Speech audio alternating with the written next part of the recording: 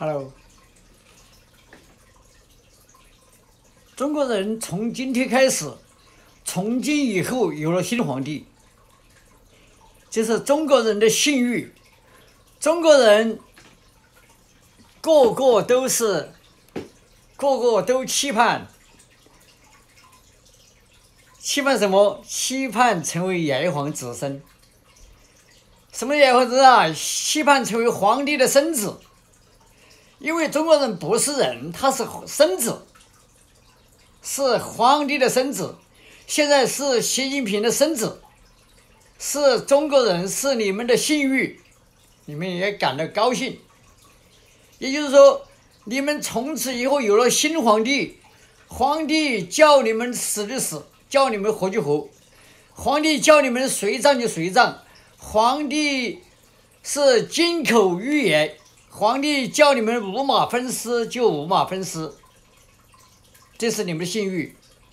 皇帝赏给你们什么就什么，赏给你们死，赏给你们全尸，赏给你们不要全尸，都是你们的信誉，因为你们是皇帝的孙子。皇帝也就是说，你们的任何，包括你们的身体、你们的生命，都是皇帝赐给你们的。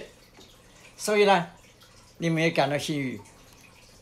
中国人从此以后有了新皇帝。就今天传出来，中国二十大会议上出现的小插曲，呃，谁上谁下，谁下谁上，那以前的听传师门都是讲了很多了，我从来没有讲过。那么在在二十大会议上，这个。随便嫁走了，不嫁走了都差不多，因为他们都是一家人，不要为为不要为这些事情操心，这不是不是中国人操心的事情，这是他们的事情。中国人你就好好的听话吧，好好的，好的怎么呢？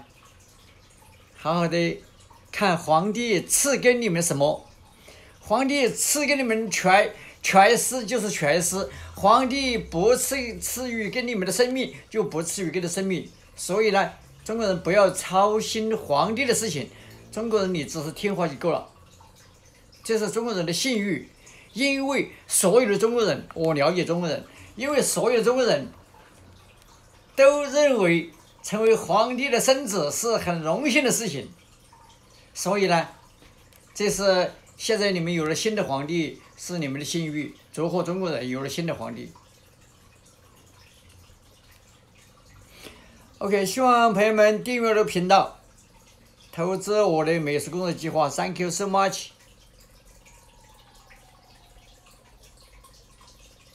我有点画新作品。我这个新作品是什么？